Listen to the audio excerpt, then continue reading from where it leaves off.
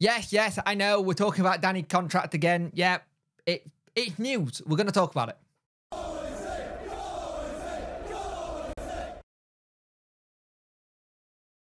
Hello and welcome to this video. If you could like, share and subscribe to the channel, I'd much appreciate it. Liking out the algorithm, sharing gets in front of people's faces and subscribing lets me know you like the channel. Hit that notification bell to let you know when video go live. So the contract talks between Danny and uh, Chansiri, well, Danny and Danny's representation and his uh, people who are looking after this and Chansiri are apparently going well uh, the start on the stands and they're trying to get it all sorted. Now, this has been taking place in London. So, although people go, I've seen Danny uh, or seen Chansiri here in Sheffield, I don't think you have done. I think you'll be looking at someone else. Uh, but there's been a lot of speculation regarding to his future after everything that's happened. And he made in a press conference that he wanted some reassurance with what happens next. And some of them are probably length of contract. Some of them are probably what he wants happening behind the scenes. So he's not doing 80 hour weeks, uh, like he said. And we have to look at this as a positive because we have to go with what's going on. Uh, now, again, it seems like everything's been very positive so far and great about possibly agreeing a new deal soon. Uh, but they need to get some things sorted in it first before it can finalize. And this is the sort of thing that we need to try and get sorted. Now, a lot of it is due to like people being linked with Danny in England and abroad, but this is the thing. A lot of that will be to do with the compensation. Now, Danny has done an interview in Germany that saying that he's like to not manage in England after Wednesday. Uh, and his contract currently is until 2025. Now, apparently, it, the compensation terms that are a little bit that I'm wanting to get sorted.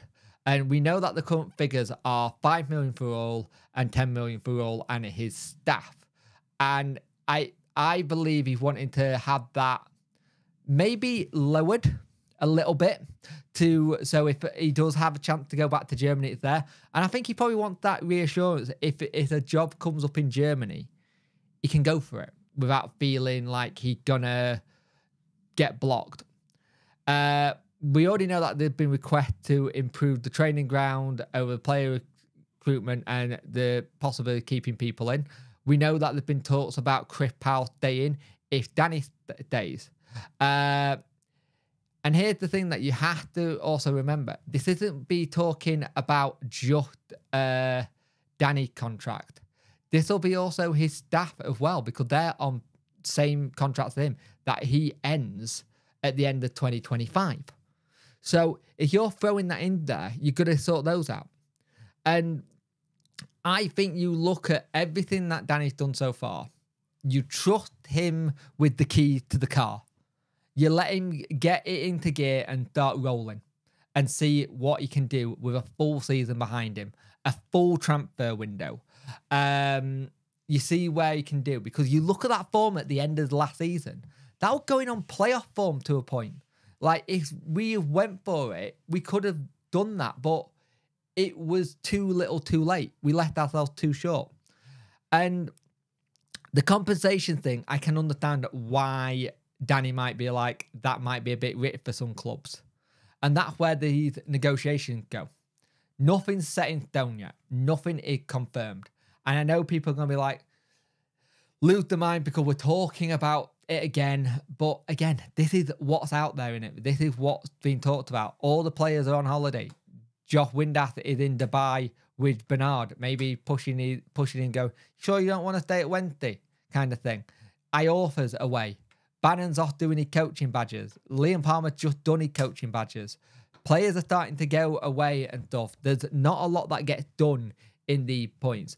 But for us, you have to remember this is the, the thing of going, getting a new deal. It's not as in like the situation where you would have where, hey, uh, we want you to become our manager. Let's get this deal done, or you're not going to be our manager. This is extending the current terms of his deal, which let's be honest, with what he did last season, I think we all kind of knew that the kind of talk were going to happen because he pulled off a miracle. He came in as a bit of an unknown, and it was a big risk for Chansiri to do it, but it's a risk that's paid off. And it's very rare we talk about Chansiri and Rick and it paying off, but this one did. And I, we got to see anything that comes out from the media about this and where it comes from as a bit of a positive. Let's try and not like take the good bin on it off because this is a good thing. And I know people are like, we they want it done now, or, or don't report on it until it's official. Well, this is the stuff that's coming out of to uh, sources in the media. I've had stuff that I'm not going to even turn around and say on here because I don't want to put it out there, kind of thing. Because if it goes wrong, I look like an idiot. And also at the same time, I don't want to burn anybody who is one of my sources because you that's the way it works. So you have to see what's going on and go from there. But at the end of the day, the fact that these are positive talks still going on with Danny rep- representatives, I've been saying it wrong the entire time. Oh well. Uh, shock. Punk Chef 41 says a word wrong. Shocker. Um, but we need to be smart with how we go into negotiations and know that Danny wants to stay. Danny made it clear he wants to stay. He just wants certain things in place of a peace of mind. You put those things in place to him, you don't go back on it. You have a manager who's loved the club, wanting to build something, wanting to plan something, want to probably start getting players in the door. The probably the thing is he probably doesn't want to be he wants this to be done as soon as possible as Chansiri does and want to start building a team for next season. And that's the thing. We need to build a team for next season. And I think under Danny, you're going to have a good one. You've got all the stuff with uh, shirt. People are asking if Macron's still the provider this season. We don't know. Nothing come out yet.